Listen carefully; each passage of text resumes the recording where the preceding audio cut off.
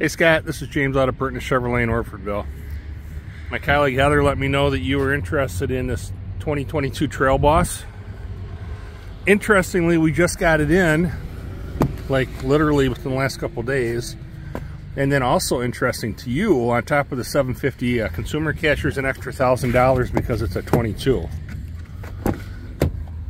So very nicely set up.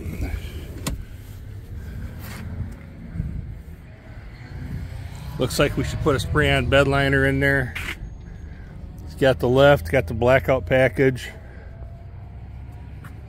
Would love to have you come and take a look at it, take it for a test drive. That's going to be much more useful to you than the uh, the video. But other things to look at, it's got the 5.3. Got the convenience package. Let's see what we got here.